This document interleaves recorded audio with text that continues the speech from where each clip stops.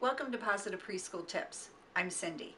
I want to share with you today my favorite preschool hacks that you can use with everyday household items. So let's get started. Hack number one, don't throw out your old eyeshadow. This is a really fun medium that you can use in the classroom for the children to draw with.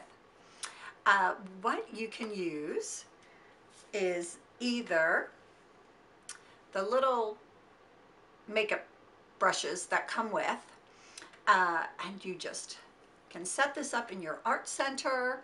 Give the children some white paper that seems to work the best and show up the best. And they just apply the paint the eyeshadow sorry eyeshadow right on the paper it's really pretty kind of has a little bit of a muted color. This might be really fun in the fall when the colors tend to be a little bit more muted. Um, if you don't want to use this little eyeshadow spongy brush you can use a watercolor paintbrush or any kind of paintbrush. If you're using just the paintbrush you want to be sure the paintbrush is just a little bit damp uh, it doesn't have to be super wet like you would with watercolors, but if you dampen the paintbrush just a little bit, uh, it does help apply the eyeshadow more evenly onto the paper. So that's a fun little hack that you can use in your classroom with just some old makeup that you have lying around. Hack number two. I love this idea. I have children and I have closets full of old trophies um, that I don't really want to get rid of, but they don't really want anymore. So a fun way to use these old trophies that you may have in your house is to use them as the quiet table trophy. So if you have tables and the children are sitting and maybe getting ready for snack or lunch, you can point out the table that's doing the best job and they get awarded the quiet table trophy. And you just can plop that trophy right in the middle of the table. The children are super excited. Um, even if it's a baseball trophy or a soccer trophy doesn't seem to matter. They just love a trophy um, and that will also encourage the other children to sit really quietly so they can get the quiet table trophy. You could have a trophy for each table so that when the tables get quiet, then everybody gets to earn a quiet table trophy. So put those old trophies that you have stored away to good use. So that's hack number two. Hack number three is a hack that I uh, use with just spoons. You just need some plastic spoons. You need two different type of plastics. I happen to have both of these spoons in my pantry, so hopefully you do too. You just need um, one spoon that is white or um, you cannot see through. So one that has some sort of color to it, and then one that's see-through.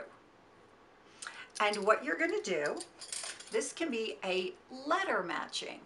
Um, what I like to do is I put the capital letter on the colored, the white spoon at the top and put the, I have the letter B.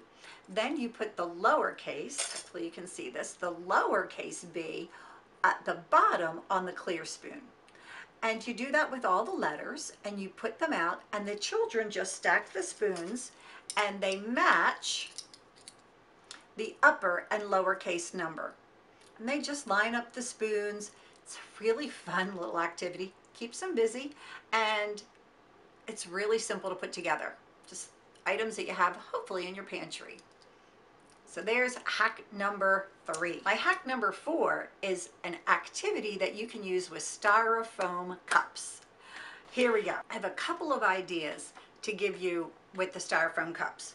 The first one I'm going to use numbers. So you have your two styrofoam cups. On one cup, you're going to write a number. I have the number seven. And then you're going to write a series of numbers that go around on the second cup. This first cup is going to indicate the ones or the units in numbers. and this is going to be your tens. This, put them in, you put it in, and then the children slide it around and read 17. When they slide it around, 27. Slide it around, 37, and so on. This gives them the idea that the 7 doesn't change on the units, and when we change the second number, that's when we're changing the tens and what that number looks like. So it's 47 to give them an idea of the tens and then the units. Uh, fun little activity that maybe you could do uh, at circle time with everybody. So everybody has their cup and you have everybody dial in 47 and see if the children can find 47. And then you have a good idea of whether they've got this concept or not. So that's a little number idea with the styrofoam cups. I also have something very similar with the letters. Um, what I like to do is uh, have a series of different lowercase letters on the bottom cup and then uppercase on the top cup. And they just slide around and match the lower case with the uppercase. And then they slide around to the next one and they find and then they match up. So you would have a series of uppercase letters on the inside cup and a series of lowercase letters on the outside cup and the children can just spin and match. Um, that's really fun. You could have several different cups and the kids could put them together and see which ones match.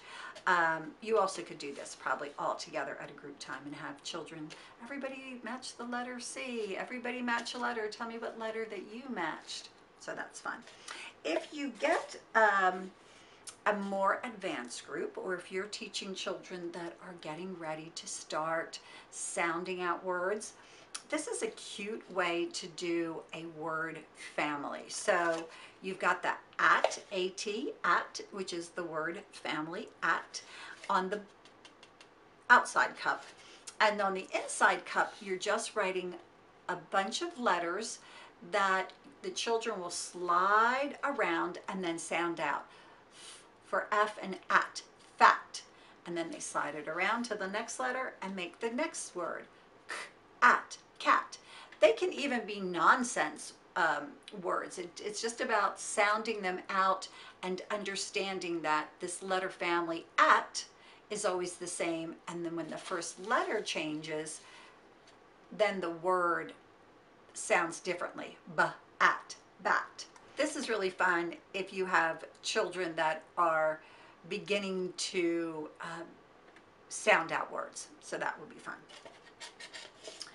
Now my last hack, I'm going to use paper plates and ping pong balls. So you just get a bunch of ping pong balls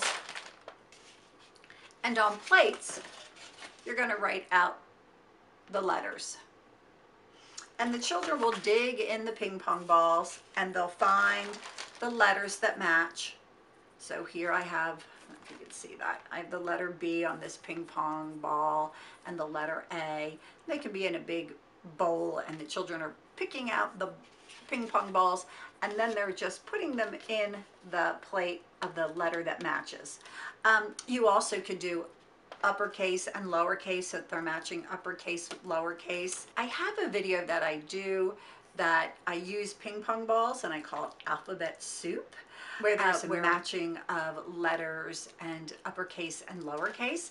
Um, I go into a little bit more detail so I'll put a link to that video somewhere here so if you want some more information about matching using ping pong balls, um, letters, with upper and lower case or matching letters together, you can hit that link and it'll take you over there. So there you have it. Those are my preschool hacks, things that you could maybe have lying around the house that you can use uh, for your classroom and for some fun learning activities. Please subscribe or give a thumbs up. I also really appreciate, I'd had several uh, subscribers ask specifically about topics for future videos and I found that really um, very flattering and also really helpful in a way to give me an idea of what it is that you need. So if you are looking for ideas about a specific topic, please shoot me a comment and I'll see if I can put together a video that will address those concerns. So have a great day and have a great preschool day. Bye now.